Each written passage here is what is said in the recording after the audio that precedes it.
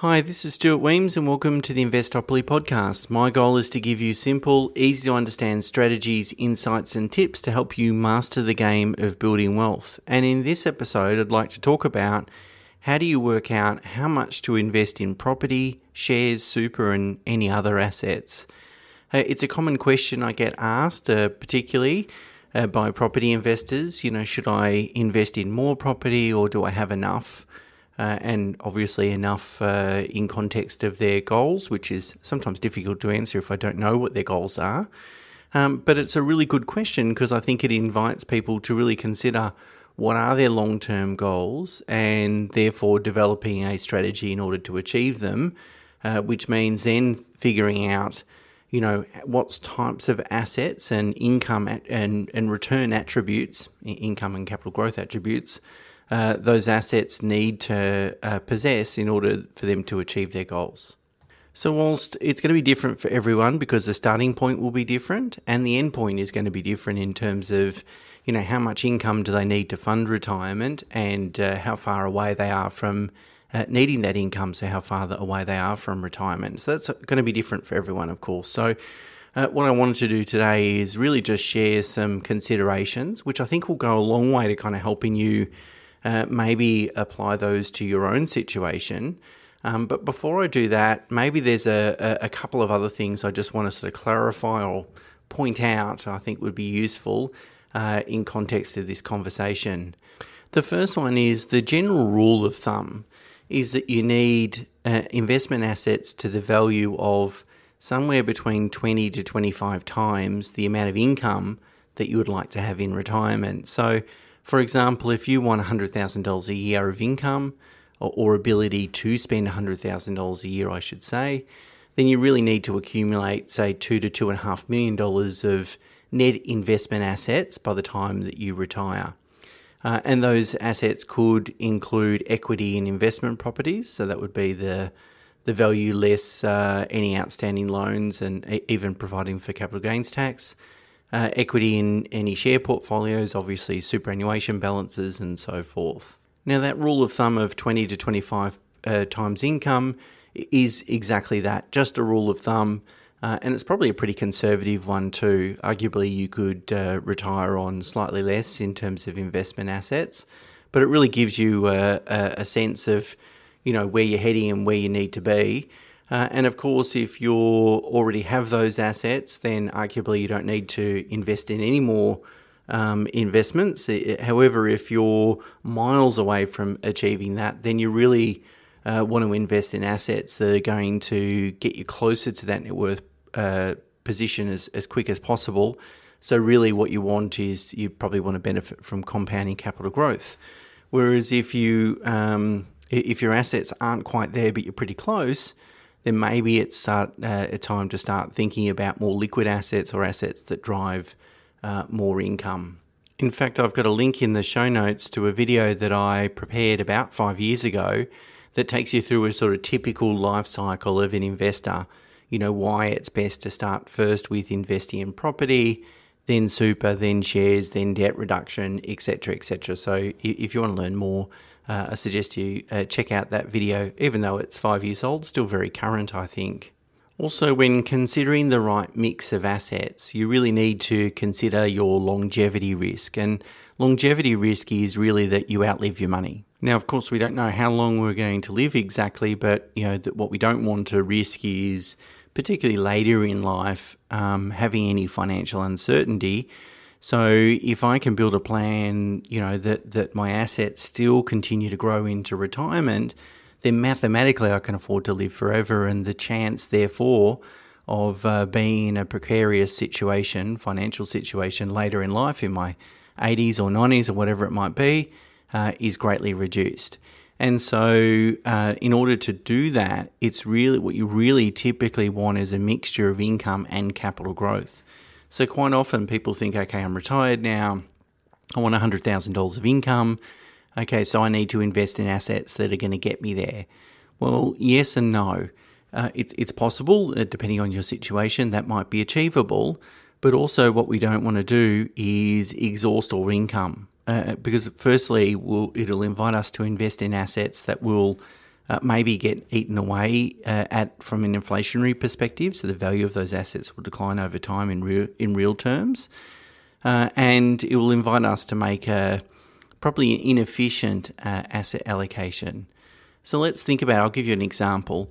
If you had two and a half million dollars of investment assets, and your average return was seven percent, being three and a half percent in income and three and a half percent in growth so three and a half percent on two and a half million dollars is eighty-eight thousand dollars.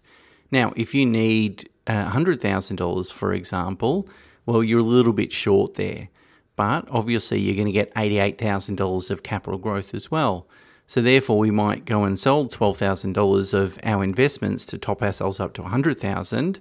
But it means that our investments are still growing by the net amount being seventy-six thousand dollars and um, and at least that will help protect us against the impact of inflation. So it's a bit of a misnomer error to think, well, um, I've got a certain amount of investment assets, I need a certain amount of income. That you need all that income coming from the investments. It's really a combination of capital growth and income, uh, and ultimately, what you want to do is have a a really astute and balanced and diversified asset allocation in order to achieve that. Okay, so when looking at a client situation, obviously I need to sit down and figure out what is the starting point. So what is the what are their investment assets worth today, and um and, and when's retirement? So when do I need a, the certain or the necessary amount of investment assets? So in that context, uh, what I thought I would do is then share some considerations. So the first consideration is debt servicing costs. So of course, mathematically, the more you invest in property, so the more you borrow to invest in property more correctly, um, the higher, assuming you're investing in investment grade property, of course, over the long run, the, the more money you make. I mean, that's a mathematically just a no brainer. Um, but it doesn't necessarily mean that's exactly what you should do because obviously, um, the more you borrow, the more sensitive you are to interest rate increases. And really, you don't really want to be that sensitive to interest rate increases uh, when you enter into retirement, because obviously your income is going to be predominantly from investment sources. Uh, and probably zero from personal exertion income, so you don't have that salary to sort of fall back on. Uh, and so buying another investment property today uh, for some people um, pushes them actually further away from retirement because of the debt servicing situation rather than closer to it. The other consideration too is if I overgear into property, so I borrow too much, there's a risk that it will absorb all my cash flow. And if it does that, it really um, reduces, it comes with an opportunity cost because it reduces or, actually eliminates, if it absorbs all the cash flow, eliminates my ability to invest in other assets.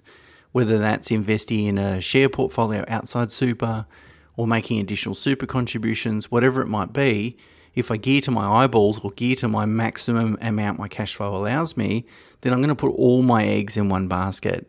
Now, that may or may not be a problem. It might work perfectly fine, but it's something to really consider. And I would imagine most people would be better off spreading their eggs rather than putting them in one basket. The next observation is that property tends to be a very lazy asset from an income perspective. So even if you can generate a high rental yield, and a high rental yield I would regard as say four to six percent, uh, for example, pretty difficult to go over six percent. Not impossible, but difficult. Um, but if you're investing in investment grade property, which tends to or always does have a strong land value component, land really doesn't help the rental income very much. Then really you're mostly going to end up with a net rental yield, that is the rent less expenses, of somewhere around 1%. Maybe you might get to 2% depending on the type and location of the property, but it's going to be 1 to 2%. So, from an uh, after expenses perspective, it's a pretty lazy asset from an income perspective. Therefore, uh, the other consideration as well is that it's uh, illiquid.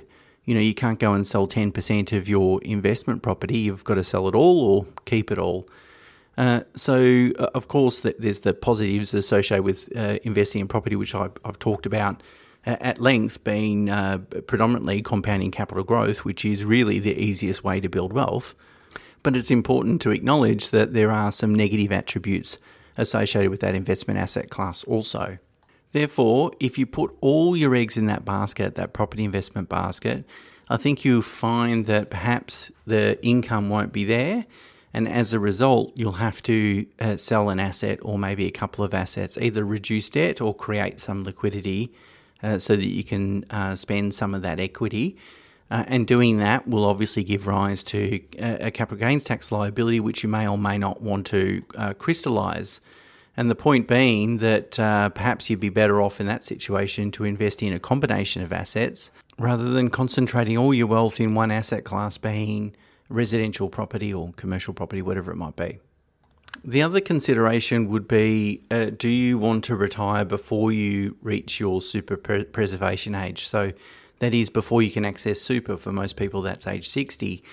Um, if so, then it's uh, a wise observation to note that, you know, if you had a liquid pool of investment assets that are outside super, that that can um, help people uh, either retire in full or reduce working hours before they get to 60. So, what I'm talking about, for example, is a, a share portfolio in a family trust. Uh, and the individual might be able to sell down part of that share portfolio, say if they want to retire at 55, to supplement all other investment income um, to fund living expenses and do that relatively tax effectively because they're selling you know only portions of the uh, share portfolio and they're doing it uh, in a tax effective manner. So, thinking about assets outside of super that are liquid that we can uh, either it's they're going to derive uh, more predictable income levels and or that we can sell bits and pieces of if we need to um, sometimes helps us give that flexibility that we're looking for when thinking about asset allocations that's really about you know how much to invest in property shares super etc uh, it's it's probably best to think about it uh, think about retirement as kind of three phases.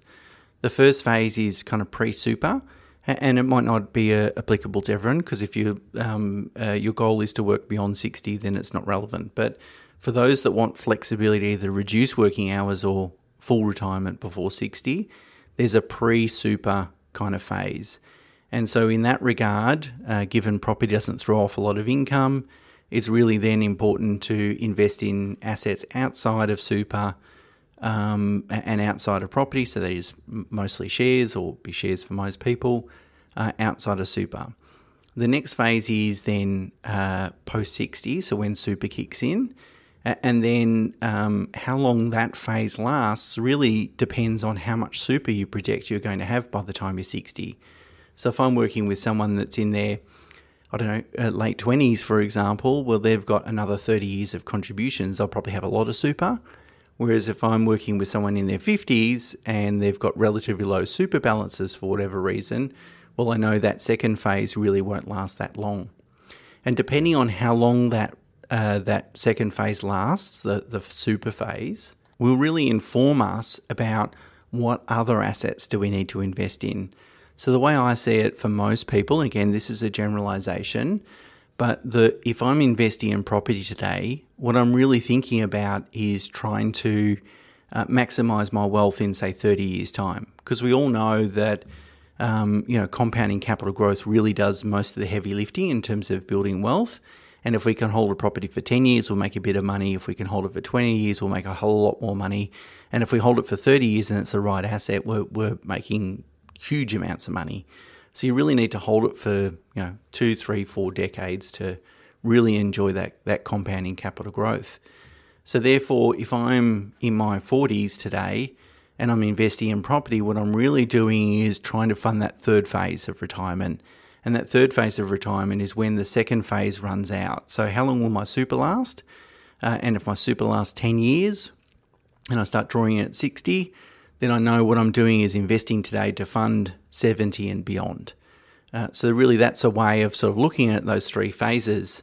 But the point is that for most people, super is going to hopefully um, uh, fund a material proportion of your retirement. And uh, taking that into account, it's then also important to understand the benefits of accumulating wealth in super because quite often people think, oh, look, super, they the government keeps playing around with the rules and the government's in charge. I'm not really in love with the idea of investing more in super, but it's kind of silly to ignore it because it's so tax effective. And to make this point, I've got a link in the show notes to a very basic table. And what the table does is double $1 20 times. Uh, and in one uh, scenario, it doubles it uh, without any tax. And in the other scenario, it subtracts 30% for tax. So, what, what this table is trying to demonstrate is how insidious tax is because it really eats away at the balance. Okay, so if I take uh, $1 and then double it to 2 and then 4 and 8 and so forth and do that 20 times, I end up with a million and forty-eight dollars. So a million bucks. Okay, if I withdraw 30% of tax each time I double it, I end up with $40,000. So 1 million versus 40,000 and it shows and that's doubling 20 times so it shows how insidious taxation is in terms of eating away at returns and therefore why it's important to think about you know um, not putting all your eggs in one basket of course but having a substantial amount of wealth inside super post 60 because it really is very tax effective. So there you go. There's some of the considerations that i uh, usually take account of uh, when looking at someone's financial position and developing a long-term strategy uh, with respect to deciding, you know, how much to have in property, shares, super, uh, and so forth. So hopefully it gives you some food for thought.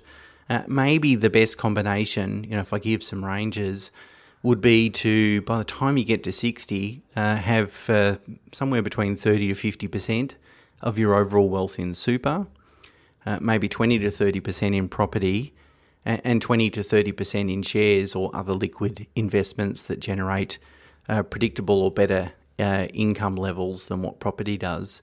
Uh, but again, it's different for everyone, and um, no one asset class is better than the next. But at a portfolio level, having a combination of different asset classes in different ownership structures uh, tends to sort of balance out those pros and cons uh, and gives you the best of both worlds. Uh, so there you go. That's it for me for this week. Uh, until next week. Bye for now.